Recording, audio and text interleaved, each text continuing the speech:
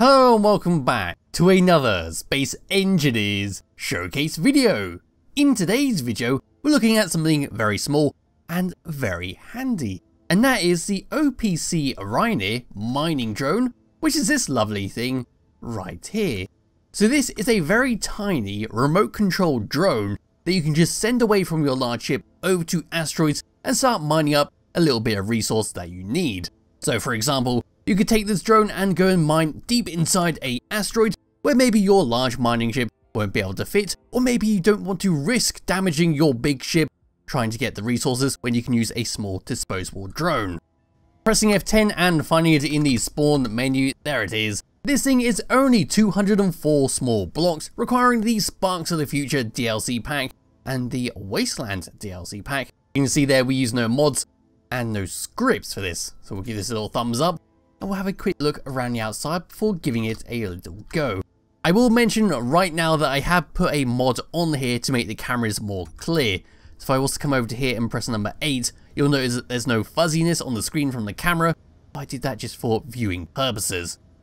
Anyway, coming around to here, this is the very front of what we get with our little drone. We got two drill heads, which is how we're going to be carrying most of our resources, and of course to drill through the asteroids.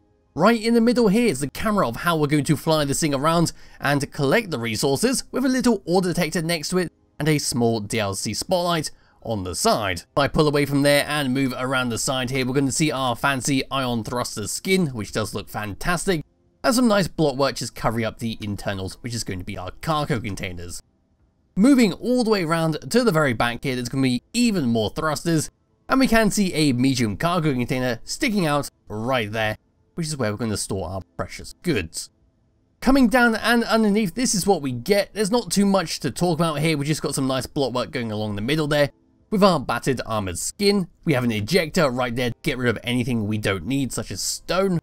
And moving around and coming to the top, all the way up to here, this is what we get here. So we've got our connector to dock ourselves onto our main ship and to unload all our goods. We've got an antenna there to make sure we can always find it. We've got a camera right there to make sure we can connect up our connector without using the third person camera. And over here we can see we've got two gyroscopes and how it's all been connected up to the drill. Then moving towards the back there, we can see the top of our medium cargo container and all the thrusters at the back. And there we go. It's a very short and sweet little drone and it's got quite a lot of utility to go along with it. Considering how simple it is and how easy it would be to build once you're in space, it'll be quite handy to have a small array of these that you can just send out and collect up any resources you need. What I'll do before we give this thing a little test out is come over to here and come over to this part and you'll see we've got three medium cargo containers on here so we can carry a nice lot of uranium if that's what you're after. And of course we've got the storage in the drills themselves and our connector over here. Bringing up the HUD, this is what we get with this little drone. Number one is going to be to control our drills with our left mouse to collect and right mouse to make a big hole. Two is going to be for our battery to turn it on and off and I should not have touched that because now I've disconnected myself. Three is going to be for our ion thrusters to turn them all off or turn them all on. Four is for our connector on the top on and off and then five is to lock or unlock it. Number 6 is for our spotlight, which sits right at the very front here to turn it on and off. 7 is going to be for our ejector on and off. Number 8 is for the camera straight forward, and number 9 is for the camera straight up. And you can see at the bottom left there, just the little edge of our connector on top. On tab number 2, we then got controls for our antenna on and off. And, oh god, I turned that off. I should not have done that off. And number 2 will be for our battery to auto or recharge. And once again, I have disconnected myself from the ship.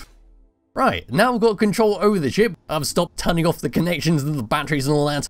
We'll now go and start to drill away through this asteroid. So over here we've got this nice little hole, if I put number 6 on for our spotlight, which doesn't really seem to help too much at a distance, but we can just come all the way down this spooky little asteroid, and we can start finding some precious resources inside here, where it might be a little bit too tight to get a big mining ship inside, or perhaps you're in a hostile area with plenty of drones, and you want to use something disposable. Yeah, so we can just come up to this side over here, and start drilling away. So I'm just going to start a little hole. Actually, we'll go find some resource. There should be some resource all the way over to here. There we go. Hopefully I'll be within range, but there should be a little ore patch right around this corner. So if I come all the way around to here, I saw this earlier, it's a nice little patch, should be, should be around here. It's going to be quite difficult to find. I think that was it right there. It's a little bit dark. In fact, I'll try and bring the sunlight round to here. Should be a bit easier to see. There it is. That should be some nice silicon. And we can go and collect that up, store that up, and then once we're done, we can go back to our big ship, and we can just go and collect that up. I think I just dam did I damage something on this, or was that just like... No, that was nothing. Okay, good, that's fine. So we just keep storing everything up, just keep drilling away here. So we just keep going away here. I don't... No, this isn't silicon, is it? It's something else. If I press I, it's platinum. And it does look like we've got a bit of stone, so I can press number 7, and the sorter should then start ejecting out all the little stone. There's a little plot right there. And we can just keep filling this up. And I'll fill this all the way up to the tippy top, and then we'll see how it handles. Okay, so reversing all the way out of here, and we'll check our inventory, making sure I'm not going to go too far from myself. Of course, if I was in a proper ship or a proper base, the distance between me and the drone wouldn't be too much of a problem. Just more that I'm just standing somewhere over there. And yeah, not too much of a distance can be made. But pressing I and looking at our inventory, this is what I've collected. So we've got a nice amount of platinum ore. Quite a lot actually for such a small little drone. If I disconnect myself and fly over to the drone, I'll just show you how big it actually is compared to my character.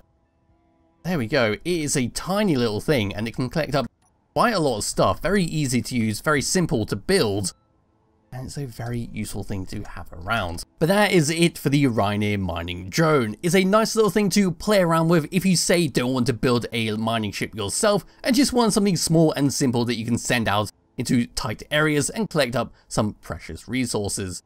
And of course, if you don't want it to be a remote control ship, you can always just slap on a cockpit and use it as a small little mining ship, and it's very easy to customize with the way it's been set up. If you want more containers on the back there, you can easily just remove the thrusters and add some more on.